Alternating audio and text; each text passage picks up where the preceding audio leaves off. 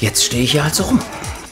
Dass das Ding nur deswegen schiefgegangen ist, weil Dietzel auf zwei Geigen spielt, ist irgendwie an der Staatsanwaltschaft vorbeigegangen. Ja, obwohl es für seinen Rücken wahrscheinlich umgekehrt besser wäre. Hast du mal ihre Schenkel in dem Kleid gesehen? Die Bude ist so voller TNT, die jagen euren Hinter gleich mit hoch. Also, wir sind in 10 Minuten da.